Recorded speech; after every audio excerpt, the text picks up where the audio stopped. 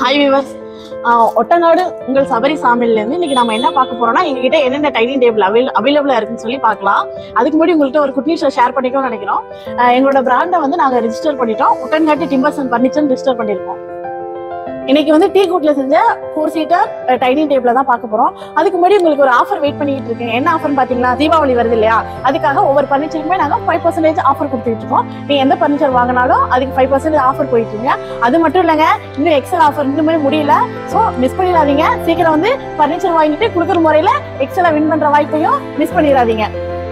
ஒரு classic லுக்ல tea கோட்ல பண்ண ஃபோர் சீட்டர் டைனிங் டேபிளை பத்தி இன்னைக்கு பார்க்கலாம். அடுத்து சேரை பத்தி சொல்லணும்னா நமக்கு பேக் சப்போர்ட்டோட சாப்பிடும்போது இப்படி ஒரு மாதிரி ஸ்ட்ரெயிட்டா இருந்து சாப்பிடாம இப்படி நல்ல சப்போர்ட்டோட சாப்பிடணும்னு நினைப்பாங்களா அதுக்காகவே நாங்க இதை கர்வ் மாடல்ல பண்ணிருக்கோம் நீங்க உட்காந்து சாஞ்சிக்கிட்டீங்கன்னா பேக் நல்லா சப்போர்ட்டா இருக்கும். எந்த பெயினுமே உங்களுக்கு வராது. அதனாலதான் இந்த மாடல் நாங்க கர்வ் மாடல்ல பண்ணிருக்கோம் இது ஃபுல்லாக டாப் பாத்தீங்கன்னா வாட்டர் ப்ரூஃப் பிளைவுட் யூஸ் பண்ணி மைக்கா பேஸ் பண்ணிருக்கோம் கீழே கால் பார்த்தீங்கன்னா ரவுண்ட் ஷேப்ல கடைசல் பண்ணி பண்ணியிருக்கோம். ஸோ உங்களுக்கு வீட்டில் கொண்டு வந்த டைம் டேபிள் வச்சா எலகண்ட் லுக்ல மேட் ஃபினிஷாக இருக்குங்க.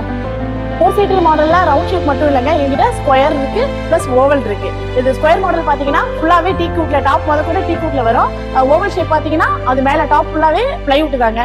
சில பேர் வந்து எங்களுக்கு பிளைவுட் வேணாம் ஃபுல்லாவே டீக்ல பண்ணி கொடுங்க அப்படின்னு கேட்டிருந்தாங்க. ஸோ அவங்களுக்காக பண்ணதுதான் இது. சேர் பாத்தீங்கன்னா ஸ்ட்ரெயிட் மாடல் தான். உள்ள கடைசியில் பண்ணி பண்ணி பண்ணிருக்காங்க இதுவுமே உங்களுக்கு நல்லா பேக் சப்போர்ட்டா இருக்கும்.